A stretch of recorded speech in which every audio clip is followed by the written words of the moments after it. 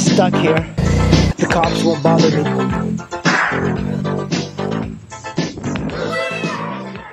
Welcome back. I wanted to talk to you guys a little bit about the V-Strom. I see a lot of beginner riders getting this bike and all of a sudden because of ADV bikes are getting so obese with the Africa Twins, the KTM Adventures and GSs, it seems like the V-Strom 650 is a noob bike or female bike, which is kind of weird because a lot of guys contact me about this bike and they want to buy it and I ask them like, uh, what bike you got? And it's like, they usually have a GS, but they're buying it for their girlfriend or their wife. And it, it's kind of puzzling in a way because it is a physically large bike and you would think that perhaps it wouldn't make a great beginner bike. But it is a great beginner bike. The only thing that you have to overcome is the height of the bike. It is a tall bike and it's a, a very wide seat that makes it very comfortable. So you have a wide stance on the ground, so a lot of people can't flat foot this thing. Also, you have about 490 pounds, I think it's 470 pounds wet, I believe. But that doesn't really matter much because as a rider, you're going to be adding weight. So, you know, I have the Givi racks, I have the panniers, I have heated grips, I have an aftermarket windscreen. So all of these things contribute to the wet weight, but having a low weight is pretty important as a bike. But if you're a new rider and you're getting into this bike, there's so many inline fours, inline twos out. And the reason I think this makes a great beginner bike or new ADV type of rider bike is that the V-twin engine is an extremely streetable engine. It's not going to make a lot of power. It's not going to make a lot of top end speed. It's not meant for that, but the way it makes power, it's very difficult to describe. At any gear that you have, that you you're riding, it still has enough power to kind of get you through. It, uh, it, it keeps pulling even though an inline four, you have to like shift it. It's got like these very certain parts in the RPMs that makes a whole lot more power. It's the same thing here, but not so much apparent. And um, it's a very linear sort of power. So if you're riding in the twisties and you're in the wrong gear, and you're in like fifth gear and you should have been in third, it doesn't really matter because even in fifth gear, it pulls pretty decently. You're not going to win any races, and V-twins have never been that competitive compared to inline fours. You know, I'll take an example, an RC51 versus an R1. It's just not that competitive. But if you rode that RC51, that big V-twin, it felt so good to ride in the streets because the power was always there. So a lot of it is not about how power looks on paper. The V-twin works really well. It works really well in the street. And a V-Strom like this, it's been perfected. It's been for, the motor has been perfected since the SV650. It's the same engine, so if you've ridden SV650, it's a very similar feel. So a lot of people love this engine. And I never really understood V-twins, but after riding this thing and riding it cross country twice for months, this thing is just an incredible feat of engineering. People compare this engine to like a diamond. It is the best thing about this bike. It's not the looks. I don't think it looks great at all. Some people might disagree with me, but the engine is really what you get the V-Strom for. And I believe that the V-Strom makes a much better bike than a lot of bikes out there like a KTM Adventure. Um, for street riding. I know it's a little bit different because the KTM Adventure is a badass bike, but if you have $4,000 to spend and you want to get gear, you can get one of these for $3,000 and have $1,000 left over for gear. And in the used market, of course, new, I believe they're like $10,000, $12,000, so they're getting up there in price. But this thing is just incredible. Like it's never failed to start. I'm always amazed how good of a bike it is to, to ride. It's I've gotten used to bikes and almost kind of bored after a while. But this thing, as soon as I get on it, I am always happy to ride it. It's, an, it's just an amazing engine.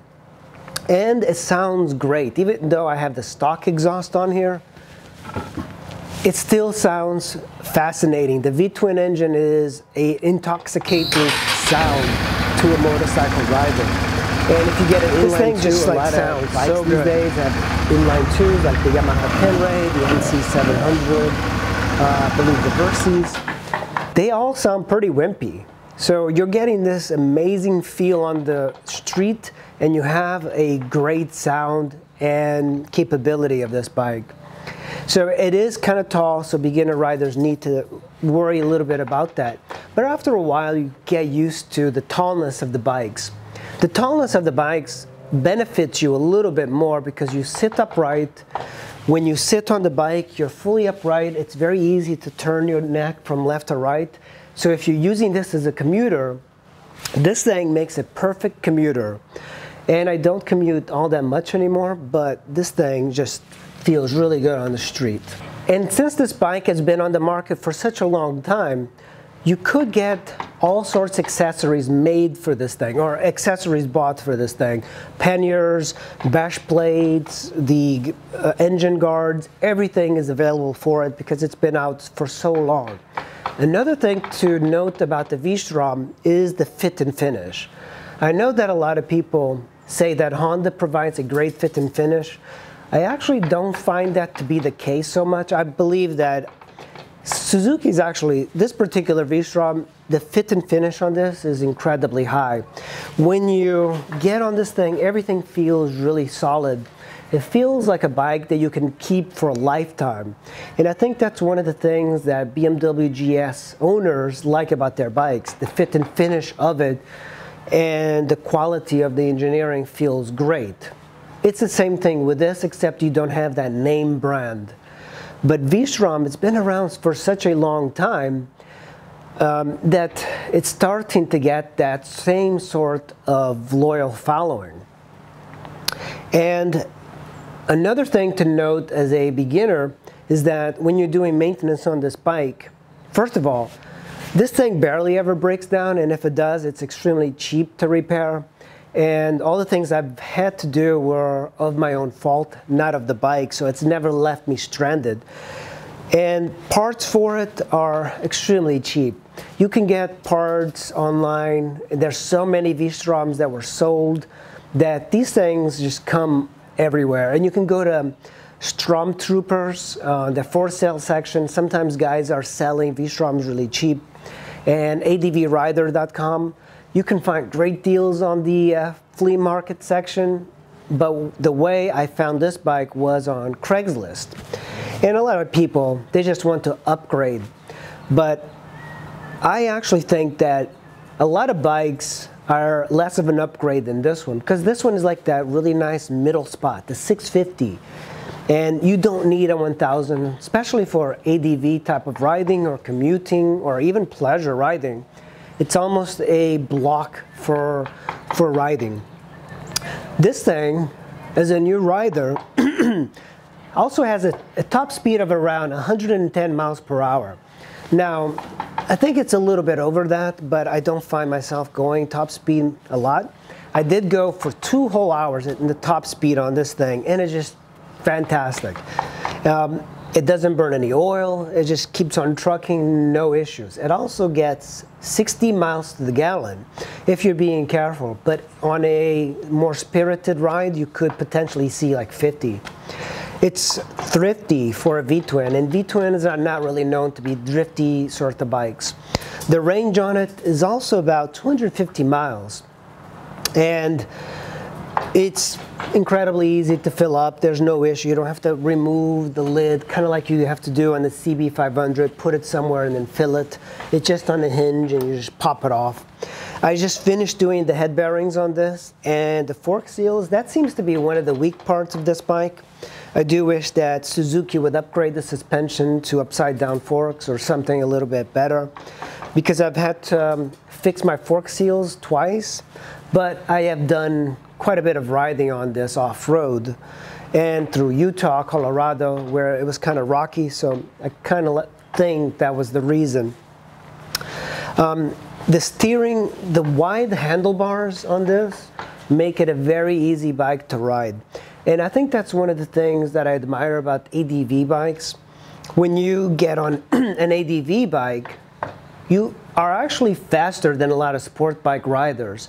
Not because you're a great rider and not because they're going slow. It's because this thing is easy to ride fast. I think it takes a more skilled rider to ride the sport bike fast because of the position of it and the way you sit on it. But this, you get on it from one bike to another.